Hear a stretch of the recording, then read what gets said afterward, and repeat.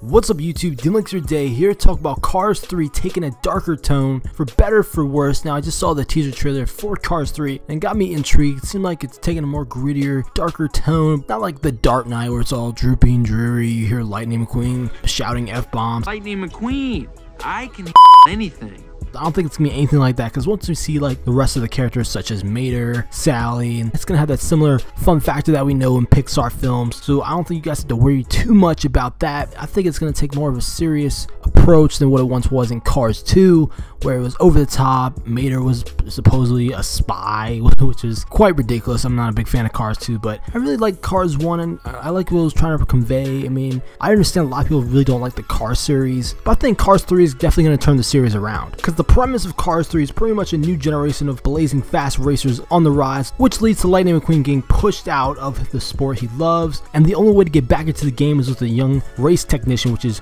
Cruz Ramirez, with her plan to win plus inspiration for the late fabulous Hudson Hornets, proving that the number 95 isn't through yet. Test the heart of a champion on the Piston Cup Racing's biggest stage. Keep in mind, this was just a teaser trailer. I don't think Cars 3 is going to be that serious, but you're definitely going to have some upbeat moments. I can feel like I feel like this is to be like a Rocky Balboa redemption style movie. And at the end of the teaser, when lightning crashes, it's nothing we haven't seen before from the first Cars film. Lightning McQueen's to have a new rival, which is Jackson Storm, which you can see glimpses of him in the trailer. And there's a still image of Jackson Storm riding up behind Lightning Queen. So I'm looking forward to Cars 3. I don't think this dark tone that everyone's worried about is to be too serious. It's still to have that fun flair that Pixar is known for, but it's definitely to have some heavy themes in there as well that are going to be hinted in there that are going to be kid friendly. So I'm looking forward to Cars 3. Can't wait to see how it all plays out. But let me just think in the comment section down below. What are your expectations for Cars 3? Do you think this one will be the best out of the trilogy? Do you even care about Cars anymore? Let me know in the comment section down below. Like, subscribe, more content on Cars 3